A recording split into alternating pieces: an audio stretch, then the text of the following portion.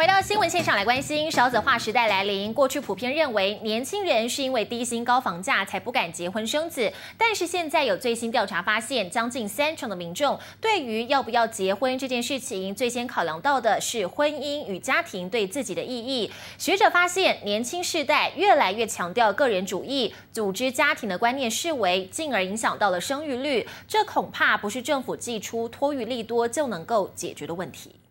情人节就要到了，不少人都已经计划好要享受两人时光。现在越来越多人不结婚不生子，过去普遍认为是因为受限于低薪高房价影响，但最新调查发现，年轻人不结婚不再只是因为经济问题。他们呃双方的工作呃经济条件其实是很好，可是他们就是不愿意结婚，不愿意生小孩，因为受到西方文化的影响。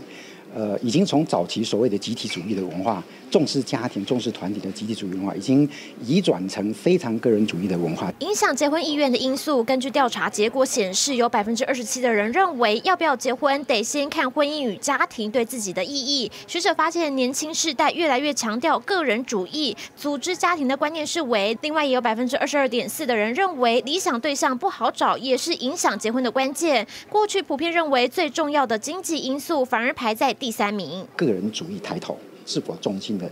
的的那个意识呢，就间接直接的影响到结不结婚、生不生小孩。